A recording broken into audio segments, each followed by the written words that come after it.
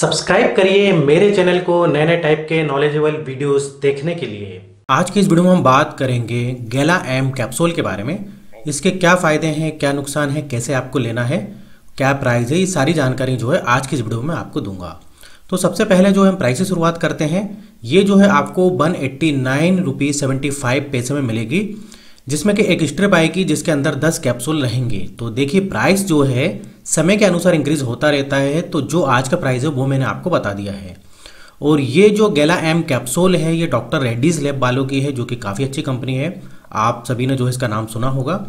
और अगर हम बात करें कंपोजिशन के बारे में, इस गेला एम कैप्सूल में क्या क्या है, या इससे क्या क्या मिलता है तो देखिए, इसमें है गामा लिनोलैनिक एसिड जिसको आप जी एल ए भी बोलते हो, और आप चाहे तो उसको बोरेज ऑयल भी बोल सकते हो, और इससे आपको मिलता है ओमेगा सिक्स फैटी एसिड मतलब गामा लिनोलेनिक एसिड में क्या है? आपको ओमेगा सिक्स फैटी एसिड मिलता है इससे, जो कि रहेगा 120 ट्वेंटी एम जी में। अब इसके अलावा अगला इसमें कंपोजिशन है आपका मिथाइल कोबिलामिन जिसको आप विटामिन बी ट्वेल्व से भी जानते हो, और ये है इसमें 500 हंड्रेड एम सी जी तो ये जो है दो मेन कंपोजिशन इसमें है। अब हम इसके फ़ायदे के बारे में बात करते हैं। तो देखिए, ये जो आपका जी एल ए है जिसको आप गामा लिनोलेनिक एसिड बोलते हो, ये एक पावरफुल एंटीऑक्सीडेंट है। और जो एंटीऑक्सीडेंट होता है, आपको पता है कि कितना अच्छा होता है हमारी हेल्थ के लिए। आपको फ्री रेडिकल डैमेज से बचाता है और आपको कैंसर का खतरा भी कम होता है जो लोग एंटीऑक्सीडेंट लेते हैं तो। या फिर मैं बोलूँ तो जिनका कैंसर का ट्रीटमेंट चल रहा है या जिनको कैंसर है, उनको डॉक्टर जो है ये गेला एम कैप्सूल भी देते हैं।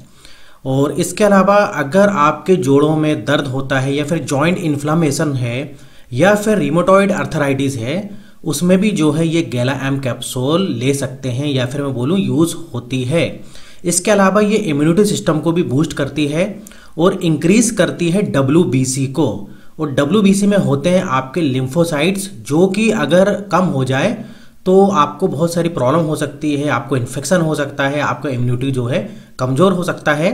तो ये जो है डब्ल्यू काउंट को बढ़ाता है, जो कि आपको इन्फेक्शन से बचाता है, या बोलूँ इन्फेक्शन से लड़ता है।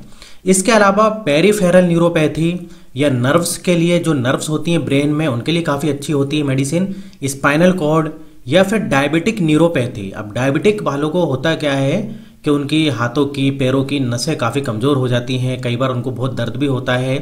या फिर मैं बोलूँ साइटिका। अब साइटिका में होता क्या है कि एक साइड का पैर, चाहे वो राइट हो या लेफ़्ट हो, उसमें जो है कई बार आपने देखा होगा नंबनेस होती है सुनपन आ जाता है, झुनझुनी जैसा होता है टिंगलिंग होती है, और कई बार उनमें दर्द भी होता है, जिसको आप नसों का दर्द भी बोल सकते हो।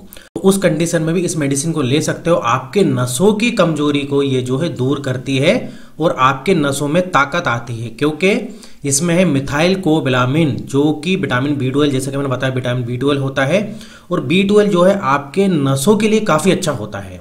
तो ये सब इसके जो है मेन मेन फ़ायदे थे, जो कि मैंने आपको बता दिया है।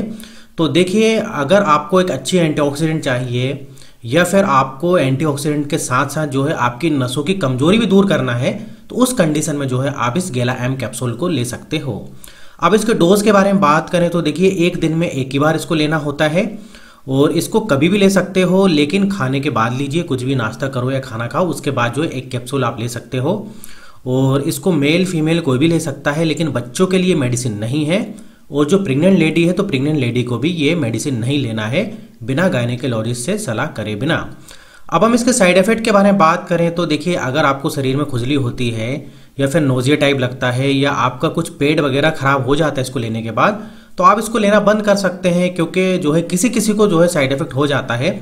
हालाँकि हर किसी को साइड इफ़ेक्ट नहीं होता है तो उस कंडीशन में आप इसको बंद कर दें या फिर डॉक्टर से भी कंसल्ट कर सकते हैं। अब कब तक लेना है तो देखिए डिपेंड करता है आप क्यों लेना चाहते हो, आपको क्या बीमारी है। तो देखिए, इसको आप चाहें तो एक महीना लेके देख सकते हैं, या फिर आपको कोई बीमारी है तो उस कंडीशन में आप इसको तीन महीने भी या कई बार डॉक्टर इसको छः महीने तक भी लेने के लिए बोलते हैं। तो देखिए, जैसे कि कोई कैंसर का पेशेंट है तो उसको लंबे समय तक भी लेना पड़ सकता है। तो ये डिपेंड करता है बीमारी के ऊपर। हालाँकि आप जो है इसको चाहें तो पंद्रह दिन या एक महीना लेके देखें, आपको अच्छा खासा फ़ायदा मिलेगा। अच्छी खासी जो है ये एंटीऑक्सीडेंट है। इसके अलावा रिज़ल्ट के बारे में बात करें तो देखिए रिज़ल्ट जो है आपको एक ही महीने में मिलने लगेगा। एक ही महीने में आपको इसका फ़ायदा नज़र आने लगेगा। अब इधर मैं कुछ एडवाइस देना चाहूँगा। अगर आप ये गेला एम कैप्सूल लेते हो तो आपको अल्कोहल नहीं लेना है। और कोशिश करिए कि लाइट डाइट लीजिए, ज़्यादा मसाले वाला फ्राई जंक फ़ूड ये सब ना खाइए, सब बेकार होता है हमारी हेल्थ के लिए। फाइबर वाला खाना खाइए फ्रूट्स खाइए सलाद खाइए, इसके अलावा पानी ज़्यादा पीजिए, कई लोग पानी भी कम पीते हैं। तो दोस्तों, इधर जो है उम्मीद करता हूँ आपको काफ़ी कुछ समझ में आ गया होगा इस गेला एम कैप्सूल के बारे में। और अभी कोई डाउट इस मेडिसिन को लेकर तो आप कमेंट द्वारा मुझसे पूछ सकते हो। तो मेरा वीडियो इधर ही खत्म होता है, लेकिन अगर आपको इस टाइप से वीडियो देखना है हेल्थ से रिलेटेड जो कि मैं डेली लाते रहता हूँ तो आप मेरे चैनल को सब्सक्राइब कर लीजिए, अगर आपने मेरे चैनल को सब्सक्राइब नहीं किया है तो। तो वीडियो अच्छा लगे तो लाइक भी कर दीजिएगा, फिर मिलेंगे नेक्स्ट वीडियो में। जब तक आप बने रहिए देखते रहिए आपके, अपने चैनल में नॉलेज फॉर इंडियन